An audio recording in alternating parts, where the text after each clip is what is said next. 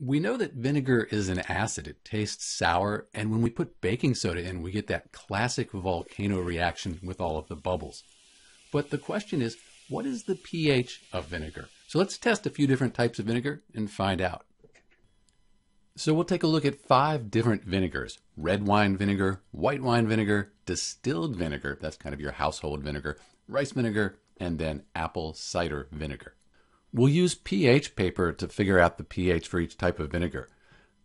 When we add an acid, we get this red color. This is a strong acid, and we're getting this red color.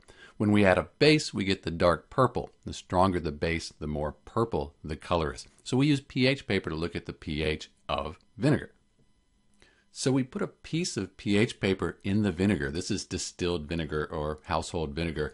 And we can compare the color to the key on the package and we can see that it's about 2 or 3. pH paper gives us a general idea.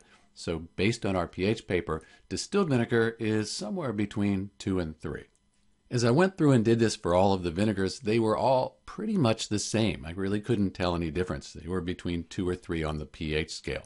So let's try something a little different. We'll use a pH meter to get a more accurate reading on the pH of these different vinegars.